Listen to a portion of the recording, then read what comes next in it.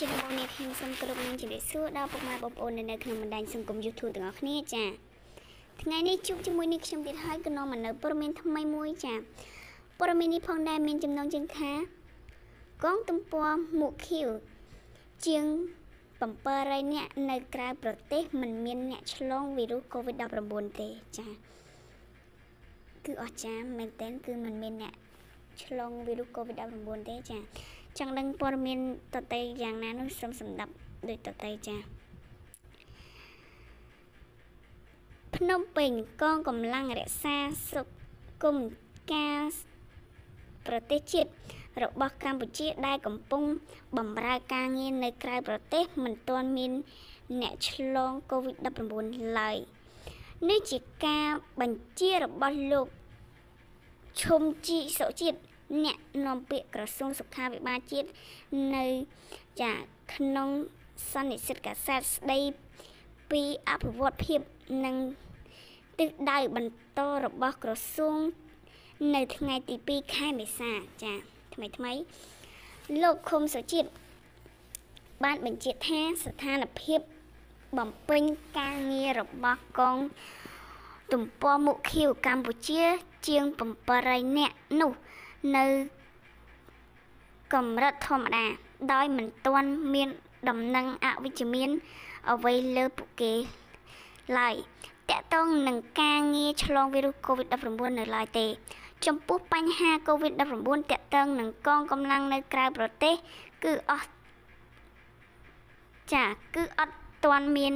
ដំណឹងអ្វីទេ នោះជាការបញ្ជាក់របស់លោក ឈុំសុជាតិដែលជាចាដែលបានបន្ថែមថា វាជាព័ត៌មានល្អសម្រាប់កងពលកម្ពុជាចា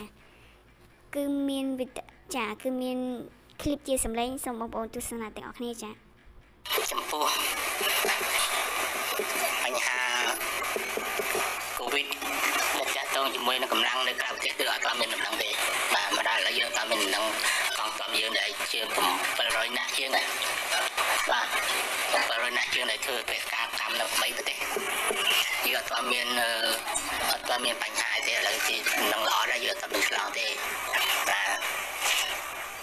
កម្លាំងដែលយើងជួនកន្លងមកដែលជួនកន្លងមកណាមាន6751នាក់មាននារី362នាក់ហើយជួយកន្លងមកប៉ុន្តែក្នុងឆ្នាំនេះដែលកំពុងមានមុខបច្ចុប្បន្ននៅក្រៅប្រទេសមាន787នាក់ ដែលសម័យយើងកំពុងធ្វើការនៅក្រៅប្រទេសមាន787នាក់ក្នុងនោះមាននារី71នាក់បាទហើយយើងមាននៅក្នុងលីបង់សុរអន្តបងម៉ាលីអាហ្វ្រិកកណ្ដាលយេម៉ែនហើយទៅហ្នឹងយើងមានកងទ័ពយើងមួយចំនួនដែលធ្វើការបង្កើនទៅការរៀនសូត្រនៅប្រទេសពេលច្រើនគឺយើងនៅសារការបង្កើនដដែលនៅចិននៅវៀតណាមនៅរុស្ស៊ីនៅគ្រប់ប្រទេស បាទយើងអត់ទៅយើងនៅការការបង្កើនដដែលបាទយើងអត់មានការវិលត្រឡប់ឬក៏ខំមានការហៅគាត់ទេនៅការបង្កើនដដែលបាទចាគឺព័ត៌មានលោកគឺមានតែប៉ុណ្្នឹងទេសូមបងប្អូនបន្តទៀតចាបើតាមអ្នកនាំពាក្យក្រសួងការពារជាតិរូបនេះកងកម្លាំងកម្ពុជាកំពុងបម្រើការងារនៅក្នុងប្រទេសចំនួន8អ្នកចាក្នុងនោះរូបមានចា ស៊ូដងស៊ូដងខាងត្បូងលីបងស៊ីមស៊ីរីឆានម៉ាលីនិងសារធាតុចាអាហ្វ្រិកកណ្ដាលចំពោះគម្រោងបញ្ចូលកងពលមុខខៀវទៅក្រៅប្រទេសនាពេលខាងមុខនេះវិញមិនទាន់មានការលុបចោលនោះទេពលគឺរងចាំមើលស្ថានភាពការនៃ ការរីករាលជំងឺឆ្លង COVID-19 នោះ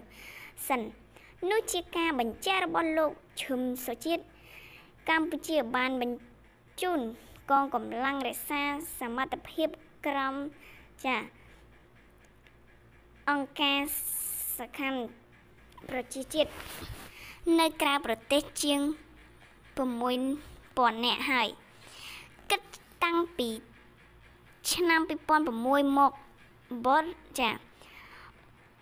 សកម្មភាពកងពលមុខខៀវកម្ពុជាភាគច្រើនគឺបំរើការងារជាចាកងហ្វីបានបច្ចាបោះពុយសំអងយុទ្ធនិភ័យមិនតនផ្ទុះការសាកផ្លូវចាសាងផ្លូវជួយបោះសង្គមព្រំដែននិងផ្នែកសុខាភិបាលជាដើមចា គឺព័ត៌មាននេះគឺមានតែប៉ុណ្្នឹងទេ គឺអរគុណដល់ពុកម៉ែបងប្អូនដែលចូលមកតាមដាននៅ Channel YouTube របស់នេះខ្ញុំចាហើយក៏កុំភ្លេចជួយចុច Subscribe នៅ Channel YouTube របស់នេះខ្ញុំម្នាក់មួយផងដើម្បីទទួលបាននូវព័ត៌មានថ្មីៗពីនេះខ្ញុំបន្តទៀតចាហើយបើនេះខ្ញុំនិយាយទៅមានកំហុសខុសឆ្គងត្រង់ប្រការណាមួយ